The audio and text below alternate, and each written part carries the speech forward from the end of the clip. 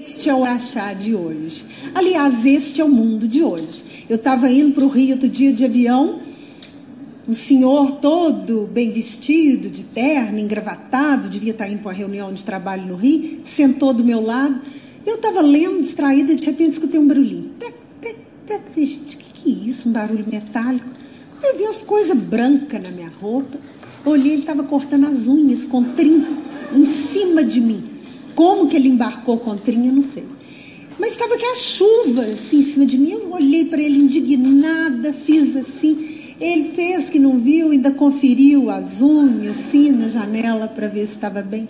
Este é o mundo de hoje. Aí, gente, peguei outro avião, fui para Baltimore, Universidade Johns Hopkins, nos Estados Unidos, para entrevistar um professor interessantíssimo Deu aula de literatura há 40 anos. Diz ele que um dia olhou para os alunos e pensou: se esse pessoal sair daqui sabendo tudo sobre literatura, mas entrar no ônibus e não ceder o lugar para o idoso, eu fracassei na minha missão. Aí ele fundou como voluntário o Instituto da Civilidade. Criou uma equipe de, de voluntários. Eles fazem campanhas em empresas, em hospitais, em bibliotecas, em escolas, até em presídios e esse homem estava me dizendo: olha, as pessoas hoje acham que gentileza é luxo. Não é, não, é gênero de primeira necessidade. É miopia não ver isso, ele diz. Por quê? Chegou no mesmo ponto que o holandês tinha falado. A vida é a soma dos nossos relacionamentos. Vive bem quem se relaciona bem. E dá para você se relacionar bem com a pessoa grossa, mal educada, gente? Não dá. Não há competência, não há currículo que redima um profissional mal educado. Você fala assim, é, ele, ele é, é, é estupim meio curto, às vezes dá uns gritos, dá amor na mesa, mas ele é muito competente. Competente?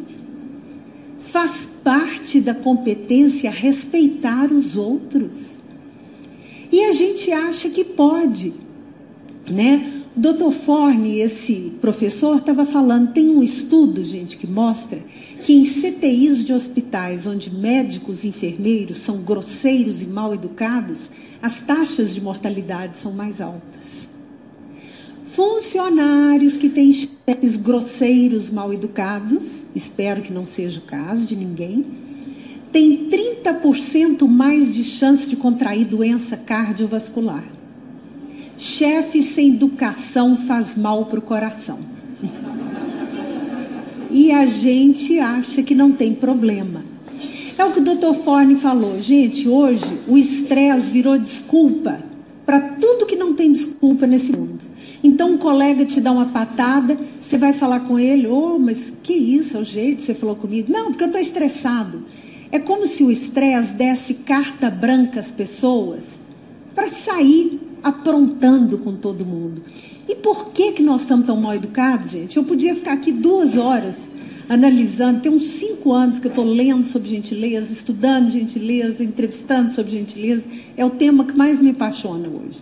Eu fui fazer uma palestra em Águas de Lindóia, mandaram um senhor me buscar, um taxista, no aeroporto de Campinas, e no caminho ele foi me contando o trabalho dele, maior coincidência, ele não sabia sobre o que, que eu ia falar. E falando das alegrias, das amolações, aí ele falou, outro dia mesmo, eu peguei uma advogada lá em Águas de Lindóia, uma moça nova, muito estudada, ganha muito dinheiro, fez curso fora do Brasil. Diz ele que essa moça foi tão mal educada com ele, tão grosseira, que ele parou o táxi, ele não aguentou. E falou, oh, deixa eu te falar uma coisa, você não me conhece não, mas eu te conheço. Eu conheço seu pai, conheço sua mãe, sei quem você é. Deixa eu te perguntar uma coisa: se seu pai estivesse aqui no meu lugar, dirigindo esse táxi, entrasse uma pessoa e tratasse ele do jeito que você acabou de me tratar, você ia achar bom? Ela falou: não. Falou: pois é. Então você vai me desculpar a franqueza. Você tem muita faculdade que eu sei. O que está te faltando é educação. E o mundo está assim. Assim de gente, com muita faculdade e nenhuma educação. Muito dinheiro, nenhuma educação. Muito poder, nenhuma educação. E quando a educação sai de cena, gente, as relações humanas azedam. E o pior é que do mesmo jeito, como dizia o profeta gentileza no Rio, né? Do mesmo jeito que gentileza gera gentileza, e eu entrevistei a filha dele para meu livro, ela falou: se meu pai tivesse vivo, ele morria de desgosto. A grosseria gera grosseria. Você dá patada num colega, ele vai arrasado com aquilo para casa, desconta na mulher, que desconta na filha, que desconta no namorado, que chega em casa desconta na mãe, que desconta no marido, que no outro dia desconta no colega de trabalho. A cadeia da falta de educação é infinita. E a gente está abandonando a gentileza como se ela não fosse importante. E além de abandonar a gentileza e com isso azedar as relações humanas, a gente está abandonando um outro combustível da convivência, que é o bom humor. Ô, gente, ninguém merece conviver com a pessoa mal-humorada. Aí vocês podem dizer, Leila, mas você está falando o quê? Que a gente tem que viver alegrinho, rindo o tempo todo? Deus me livre, não. Essas pessoas muito alegrinhas são muito chatas também, né? Esses espíritos efervescentes que acham tudo lindo, a vida é maravilhosa e elogia tudo, né? Você fala, tô com dor de dente, a pessoa, mas tudo tem um lado bom, né? Meu Deus, qual o lado bom da dor de dente? Não é isso, não. Nós todos temos direito de ter momentos de mau humor, dias de mau humor, até semanas de mau humor. O que eu acho que a gente não pode é ser mal-humorado e achar que é normal, que todo mundo tem que aguentar. Eu acho que quem é mal-humorado e não quer mudar, primeiro, não devia constituir família. Porque você condena a sua família à infelicidade. Um mal-humorado dentro de casa, ele embaça os vidros, ele encarde as paredes, né? E outra coisa, devia arrumar um trabalho que dá para você fazer sozinho dentro da sua casa. Não vai para as empresas molar os outros, não. Porque o mal-humorado é impressionante. Se aqui tiver 10 pessoas, uma for mal-humorada, ela contamina o resto. Que é isso que o mal-humorado quer. Que eu falo, gente, vocês podem dizer, Leila, nós temos tudo quanto é motivo para ter mau humor. Olha aí, é violência, é engarrafamento, é falta de dinheiro, é desemprego. Não, nós temos tudo quanto é motivo para ter estresse, ansiedade, tristeza, angústia. Mau humor é um outro departamento. O mal-humorado, ele apresenta a fatura da infelicidade dele para o outro pagar. É o outro que paga a conta da infelicidade dele. E isso é uma maldade, gente. Ninguém tem culpa se você está sem dinheiro. Ninguém tem culpa se você está mal casado. Ninguém tem culpa se você mora onde não gosta. Se você está onde não queria estar, mulheres, ninguém tem culpa se a sua franja não obedece de manhã. Porque tem mulher que é assim, a franja dá errada, sai azeda descontando nos outros, né? Eu fico pensando, vocês que trabalham com banco, que é puro estresse. Então é muito fácil você falar, não, eu estou num serviço estressante, tem que ficar mais é mal-humorado mesmo. Só que o mau humor, ele, ele é um fermento que faz crescer tudo que é negativo. Num ambiente estressante, se você cultiva o mau humor, aí não tem saída mesmo. Aí não tem. Então, gente, é, vocês podem achar que eu sou muito bem-humorada, muito risonha, muito leve. Esse ano está fazendo 31 anos que eu me trato de depressão e síndrome do pânico. Tem 31 anos que eu luto diariamente contra a depressão. Já fui atendido em pronto-socorro psiquiátrico, já fiquei fechada num quarto quatro meses, achando que eu nunca mais ia voltar para a superfície. No meu mestrado em Londres, um mês e tanto fechada dentro de um quarto com um psiquiatra, clínico geral, homeopata. São 31 anos de luta e eu juro para vocês, dá para ser deprimida e bem-humorada. A gente aprende quando a gente não quer ser um peso na vida dos outros. Hoje nós estamos inventando uma trenheira, como nós dizemos aqui. A gente está complicando tanto, a gente acha que para os outros admirar a gente, a gente tem que ser tanta coisa, fazer tanta coisa, comprar tanta coisa. O comprar é uma coisa impressionante, gente. A gente compra tudo que precisa e não, precisa, tudo que pode comprar e que não pode, depois não dorme por causa dos predatados, né? O comprar para ficar bem diante dos outros é uma loucura.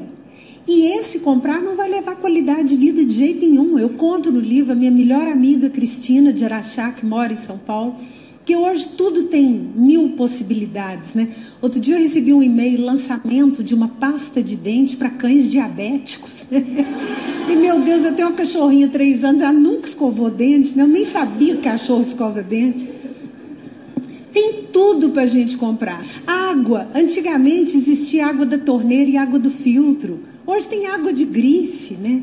Panela de grife. Antes você ganhava um, uma bateria de panela rochedo, passava a vida inteira. Hoje tem panela de 400 reais, 600 reais, né? mil reais.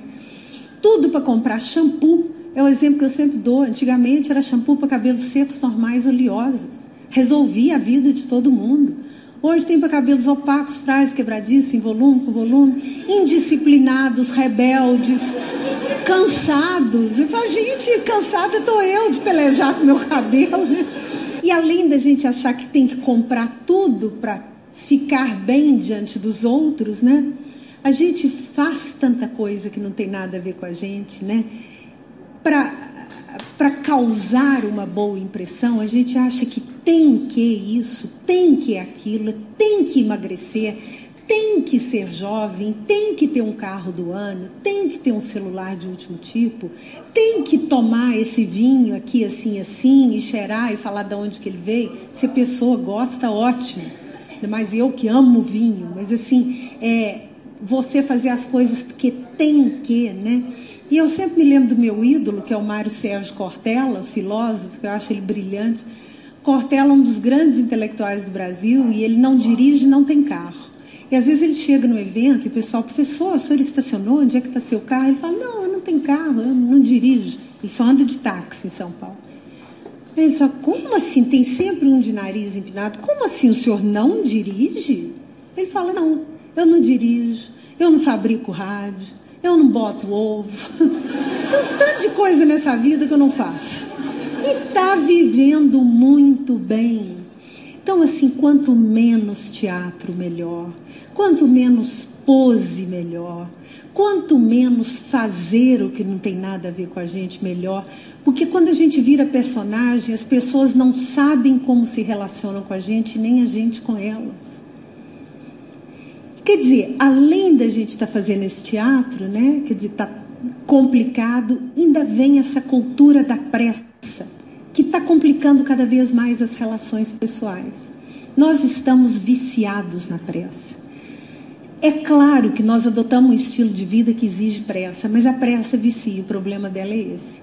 Quando a gente corre muito, acelera muito, tem uma liberação de endorfinas que é viciante. As pessoas que se acostumam a correr muito, a fazer muito, a fazer tudo depressa, quando elas desaceleram, elas se sentem mal. Então a gente começa a inventar coisa para fazer fim de semana, inventar coisa para fazer à noite, inventar coisa para as férias. Nós não estamos conseguindo fazer pausas na vida mais. Tem um ditado espanhol que fala: a vida é curta, mas é larga. A vida é curtinha, pelo menos aqui nesse plano. Você dá dois passos para frente, ela acaba. Mas para os lados a gente tem infinitas possibilidades de fazer coisa boa, de ser legal, de deixar as paredes com saudade. O resto é resto. Muito obrigada.